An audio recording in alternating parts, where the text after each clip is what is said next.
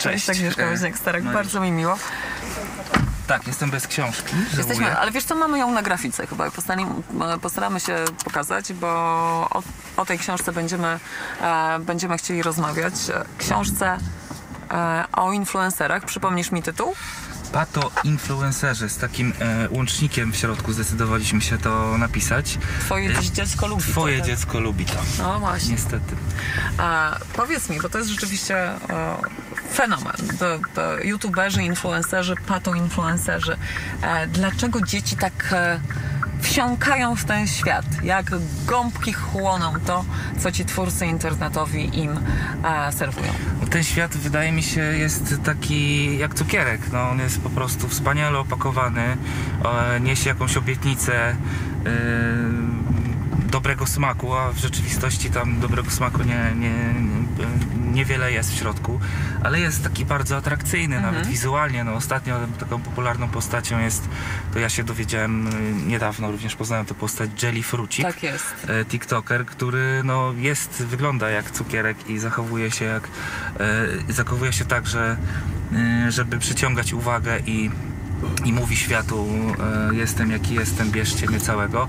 Natomiast w środku tej substancji chyba tam, tej treści jest chyba e, nie za dużo, To więc... jest taka e, historia z ostatnich dni bardzo głośna. Jelly Frucika akurat u Ciebie w książce nie ma, prawda? A Nie załapał się Nie załapał się, na- na- na ale rzeczywiście m, ostatnio zrobiło się m, głośno o nim takich mediach powiedzmy mainstreamowych, tradycyjnych, za sprawą materiałów Dzień Dobry TVN o Jelly Fruciku, który mm, no, są zarzuty, że było jednak dosyć tendencyjne i to było wyjęte z, z tej jego twórczości internetowej takie no, dosyć kontrowersyjne akurat fragmenty, w których on i przeklina i, e, i wyzywa tych swoich niektórych uczestników. On się tłumaczy, że, e, no, że, że, że, często te dzieciaki e, młode też wspiera, że to jest trochę fragment niewielki tego, co on robi, że teraz dostają z mamą pogróżki po tym materiale. Gdzie, jak to gdzieś tutaj się umiejscowić z tym tematem? Tak. No, ja jestem trochę, e, mam taką alergię na, na, na, na, na właśnie z kolei taką Mhm. reakcję, że, że coś jest e, tendencyjne w przypadku treści, które są po prostu wulgarne, Mhm. głupie, e, pozbawione jakiejś głębo, głębszej treści, które są przede wszystkim skierowane do, do najmłodszych, bo tutaj musimy pamiętać, że nie są to treści, które są skierowane do osób dorosłych, które mają jakiś ukształtowany swój światopogląd, system wartości, system neurologiczny generalnie, układ neurologiczny ukształtowany już do końca, tylko do najmłodszych ludzi, który, którzy się kształtują. I jeśli oni, do nich trafi y, w 10% spośród 100% y, będzie wulgarne, pozbawione dobrego smaku, y, hejterskie, pełne mowy nienawiści, uprzedzeń wobec y, mniejszości na przykład, no to, no to myślę, że już, już tutaj powinniśmy e, reagować gwałtownie i, i, i wskazywać to, wytykać palcem, bo, bo ja też robiąc dokumentację, research do tej, do tej książki, Zresztą zajmuję się tym tematem internetu od, od kilku lat.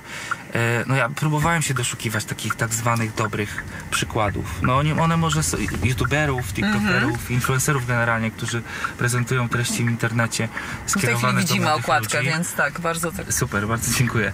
Y, To y, doszukując się tych dobrych treści, ja tam naprawdę musiałem się bardzo mocno dogrzebywać, a, a, a nawet kiedy trafiało się coś ciekawego, wartościowego jakoś, no to się okazywało, że to są treści też inspirowane przez na przykład duży biznes. To znaczy mówię o tym, że powinniśmy odróżniać treści o charakterze dziennikarskim na przykład, które pojawiają się na YouTubie, one są bardzo wartościowe, a treści, które są po prostu e, wygenerowane trochę automatycznie przez, przez ten duży świat agencji e, marketingowych. No na to też powinniśmy uważać. Jest to zresztą fascynujące, bo e, w książce piszesz o tym, rozmawiając też z, z twórcami, tutaj, e, starszymi twórcami, którzy zaczynali od tworzenia blogów, bo tak gdzieś ten, inf, ten świat influencerów się zaczynał kiedyś, tak nie było mediów spo- społecznościowych, były blogi.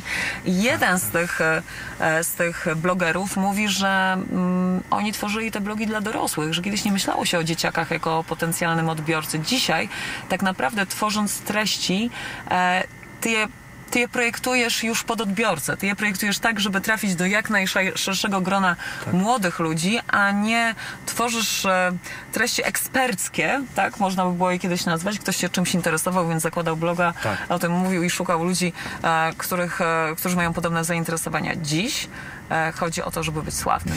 Ta, ta ewolucja, o której Mhm. ty wspomniałaś, dzięki za to pytanie, bo, bo to rzeczywiście dobrze pokazuje e, to, co się stało z, Mhm. Tak. z internetem, e, czy z szeroko pojętą blogosferą.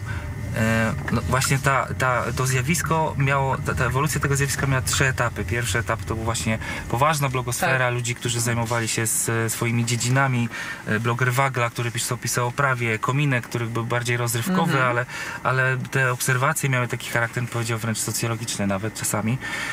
Ym, jacyś inni e, blogerzy, którzy mieli wpływ na, nawet na życie polityczne. Pamiętam dyskusję o akta, w której zabierali głos blo, blogerzy, którzy byli uważani, uważani za tak zwaną piątą władzę. Wtedy pamiętam, ukazał się taki film blogerzy. y, mm, i kolejnym etapem tej ewolucji było skierowanie się na, e, znaczy przekierowanie te, tego skupienia z prezentowania ciekawych treści, poszerzania dyskusji, zabierania głosów w przestrzeni publicznej do marketingu i sprzedaży produktów. I e, blogerzy zaczęli na przykład promować marki, które wyczuły tam potencjał e, biznesowy. I to już był taki pierwszy krok do tego, co się dzieje dzisiaj. Tego ostatniego etapu, może będą kolejne, ale tego aktualnego etapu, który polega na tym, że te właśnie tą sprzedaż, ten marketing kieruje się zwłaszcza do najmłodszych e, Tak. ludzi. E, Eksperci nazywają to e, kinder marketingiem, czyli po pierwsze wykorzystywaniem wizerunków dzieci do uprawiania sprzedaży po prostu handlu albo oferowania określonych usług, ale też kierowania tych usług Tak. i, i tych produktów. Czyli do nieprawdopodobna siła nabywcza po prostu, po Tak, którą, tak. którą wszyscy sięgają. Zresztą Jerry Frucik też wydał swoją książkę, prawda? Korzystając e, z tej niezwykłej popularności, to e, Tak. później polega to na tym, jak to, e, jak to sprytnie skeszować po tak, prostu. Tak. monetyzować. To są różne formy mon- Tak. monetyzacji. Chyba najpopularniejszą jest muzyka, rap. Dzisiaj każdy szanujący się influencer musi być raperem Tak lub jest. raperką. E, To też jest takie pole e, pchania treści, które są po prostu głupie, słabe, e, e, niesmaczne, e, przeseksualizowane, przeerotyzowane. Tak, o tym To też jest- piszesz. I o tym, i, i o tym się mało, mało mówi, jak bardzo i jak intensywnie te treści o charakterze seksualnym, takie treści, które sprowadzają wizerunek kobiety przede wszystkim do jak najniższych standardów, które posługują się tym wizerunkiem w taki wulgarny sposób, one trafiają do najmłodszych osób, które, do, do, do dzieciaków, które już wtedy mają kontakt z otwartą pornografią, bo dzisiaj wystarczy kliknąć, że się ma 18 lat i się ma, tą, ma, ma się kontakt z tą pornografią, więc to się wszystko na tym, na tym TikToku czy Instagramie dzisiaj e, w tych krótkich formach mieli. E, i wydaje mi się, że są eksperci mi to mówią, edukatorzy, Maciej Kępka z Fundacji Dzieciom, Dajemy Dzieciom Siłę, że te treści o charakterze sek- e, erotycznym, seksualnym, one stępiają wrażliwość Ale dzieciaków. też piszesz o tych ośmiolatkach uzależnionych od pornografii, tak? Między innymi właśnie tak, tam. tak, tak, a, tak. No, ta granica takie- wieku się bardzo, tak. bardzo obniża ostatnio. No, moim zdaniem również przez dostępność nie tylko na, y, w serwisach streamingowych z pornografią, ale Mhm. po prostu na tych otwartych platformach typu, typu TikTok albo Twitter. Przecież tam pornografia jest dostępna, a jednocześnie w tym feedzie pojawia się fagata No tak. y, lub inne y, tego typu postaci. Opisujesz Pandora Gate. Czy myślisz, że to coś e, to miało wpływ na, na, tą, na ten rynek influencerów, na tę strefę, na, na, na to, co się dzieje w internecie? Coś się zmieniło po Pandora Gate? Ja jestem sceptyczny, bo dzisiaj Mhm. widzimy, że te postaci, które kreowały się na tych e, moralizatorów, na tych, którzy ujawniają prawdę o, o, tym, o tym świecie. Przypomnijmy, bo to chodziło o to, że ci twórcy internetowi e, no, po prostu e, Dopuszczali się zachowań o, charakterze pedofilskim. e, pedofilskim. Niektórzy, niektórzy gr- takim groomingowym powiedział, no wykorzystywali swoją rolę gwiazdy internetowej do kuszenia tych młodych Mhm. e, fanek i fanów i do nawiązywania jakichś e, relacji o charakterze intymnym no, z osobami poniżej 18 roku życia, a w niektórym wypadku, w niektórych wypadkach e, poniżej 15 roku życia. No i tam byli youtuberzy, na przykład Sylwester Wardęga czy Mikołaj e, Tylko Konopski, e, którzy ujawnili ten Mhm. proceder. Bardzo dobrze, że to zrobili. Pyta, trzeba zadać pytanie, jakie były ich intencje i jak dzisiaj się do tego ustosunkowują. E, A jak ja dzisiaj jestem się do tego ustosunkować? No właśnie jestem sceptyczny co do Mhm. tego, czy te role były tak czy, czy po jednej stronie byli tylko szlachetni, a po drugiej tylko obrzydliwi i e, godni potępienia, no bo dzisiaj jedni i drudzy trochę kaszują te, te sprawy. E, A inna, inna sprawa to jest to, czy Pandora Gate coś zmieni e, po pierwsze na rynku influencerskim, moim zdaniem trochę, w niewielkim stopniu. Rozmawiałem z przedstawicielami agencji e, influencerskich, które twierdzą, że no, za, zac- zaczynają jakoś moderować te treści i Mhm. lepiej dobierać, bardziej świadomie dobierać twórców do współpracy. To jest oczywiście pozytywna zmiana.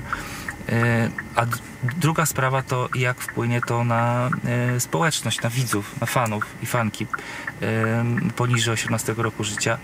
E, To znaczy tutaj już mam trochę więcej optymizmu, bo tak jak mówiła mi pani doktor Małgorzata Bulaszewska, medioznawczyni, kulturoznawczyni, e, już wiele z tych treści, które zostały ujawnione podczas Pandora Gate, one pochodziły od tych fanek, po pierwsze, czyli te Mhm. fanki, które wchodziły w kontakt intymny z, z, z youtuberami, one już miały świadomość, że to jest coś złego, że Mhm. trzeba to ujawnić, że one się broniły przed, tym, e, przed tymi obrzydliwymi, obrzydliwymi wiadomościami, więc to już był taki e, skowronek nadziei, jaskółka nadziei. Mhm. E, I E, I to myślę, że mm, to już jest jakaś pozytywna zmiana, że ta społeczność wokół influencerów już jest w pewnym stopniu bardziej e, świadoma. I tutaj opatruję nadzieję, że też rodzice e, przede wszystkim No właśnie, e, tak- będą bardziej świadomi. Gdzie są w tym wszystkim rodzice? Bo to, to jest kluczowe pytanie. W telefonach, Swoich. tabletach, tak, tak. Mhm. To znaczy, no, to- też jest takie uogólnienie, bo są, bo są świadomi rodzice.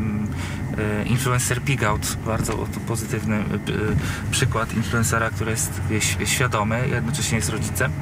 Em, ale no w takiej w takiej ogólnej powiedział, populacji mam wrażenie, że troszkę mm, zapomnieliśmy i daliśmy temu rynkowi influencerów zawładnąć wyobraźnią najmłodszych naszych dzieci i tutaj Tracąc nad tym kontrolę trochę, tracąc nie? kontrolę, trochę oddając tę Mhm. kontrolę e, właśnie temu, temu światu wirtualnemu, e, no przyspieszył ten świat i, e, i, i dzisiaj rodzice są po prostu zajęci pewnie czymś innym, ale mm, no ja po tych rozmowach z, z edukatorami, z, z, psychologami społecznymi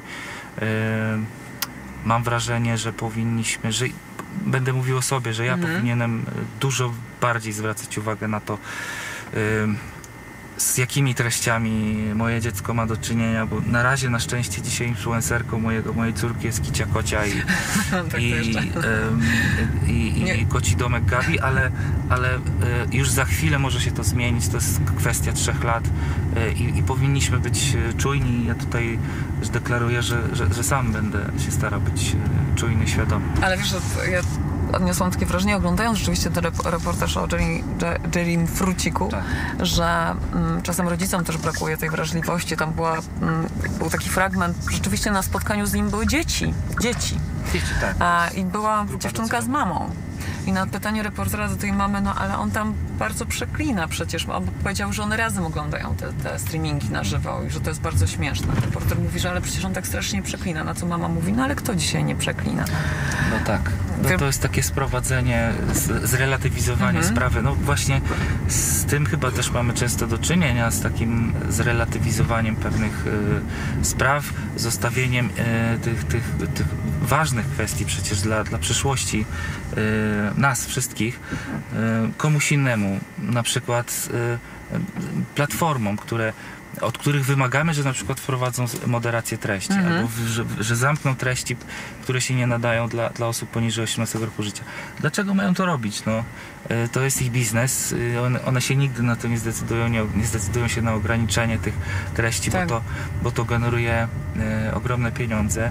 Z kolei państwo mm, ciągle mam wrażenie, że ma ważniejsze sprawy na głowie niż edukacja i też edukacja medialna, a, a chyba przydałoby się y, coś w tej kwestii załatwić. Poprzednie poprzednia ekipa obiecywała e, wprowadzenie przynajmniej jakiejś dyskusji publicznej. Prowadziła te w jakimś formie tą dyskusję publiczną na temat e, patostreamingu wtedy i, No tak. i, i tego, co się dzieje w, tej, w tym obszarze, ale czy dzisiejsza to e, zadeklaruje i to zrobi? No mam nadzieję, no po to jest też również ta No, to jakoś trzeba Ta na tym kierunkiem zapanować. Jeszcze wiesz co, chciałam zakończyć okładką twojej książki, bo ona jest też w formie takiego jakby screena z mediów Tak, społecznościowych. tak, Liczba relacji. odsłon 2137. Dosyć symboliczna. E, Jest to pomysł wydawnictwa, od Mogę. razu, od razu to zaznaczam. Nie boisz się e, kontrowersji. E, troszkę, troszkę, się, troszkę się ich obawiałem, ale to też myślę, że taka ważna liczba dla, dla, tego, dla tego narodu, więc postanowiliśmy ją e, zaprezentować. No taka, to jest, e, to jest oczywiście go- godzina śmierci papieża, ale też taka trochę pokazująca, że dla młodych ludzi trochę nie ma świętości, prawda? Bo To to, jest prawda. taka, godzi, taka godzina, z której młodzież, nie, nie tylko młodzież, Kpi, troluje. Tak, troluje, to prawda. to prawda. Bardzo Ci dziękuję. Ja Słuchaj, dziękuję bardzo ciekawa książka i naprawdę polecamy absolutnie wszystkim rodzicom. E, I dzieciakom też oczywiście, ale rodzice powinni tę książkę przeczytać. To prawda. Na Polecamy pewno. rodzicom. Tak. Dziękuję bardzo. Dzięki. Miłego dnia. Do zobaczenia.